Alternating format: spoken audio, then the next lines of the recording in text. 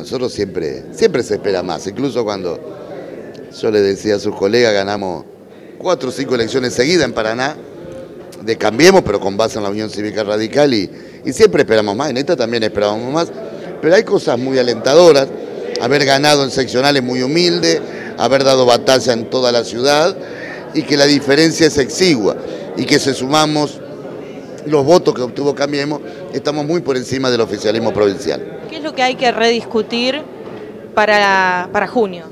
Y bueno, seguramente habrá que cambiar estrategia de llegada de discurso, de la gente, de propuesta.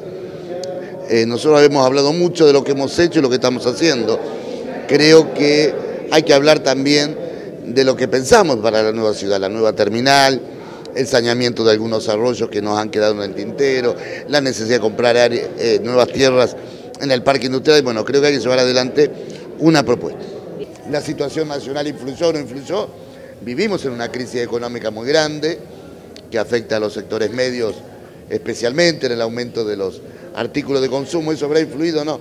No lo sabemos. Nosotros sí hicimos un esfuerzo importante, corto, porque yo me reincorporé recién a fines de febrero, es decir, un mes y medio de campaña, pero me parece que el radicalismo tiene muchas cosas para festejar hoy y muchas cosas para cambiar para la elección que viene. Yo me demoré un poquito en venir a, mi casa, que es la Casa Radical, eh, porque esperaba un poco que avanzara el escrutinio de los resultados, pero más allá de eso, cuando llegué a mi casa vi la noticia en televisión que el kilo de leche está, que el litro de leche está igual que el litro de nafta, digamos, bueno. Esas cosas me imagino que algo influirán en el ánimo del votante, ¿no?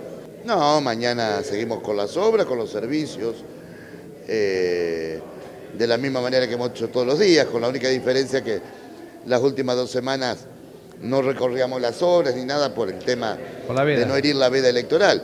Pero mañana empieza también la campaña para el 9 de junio, que es la verdadera elección.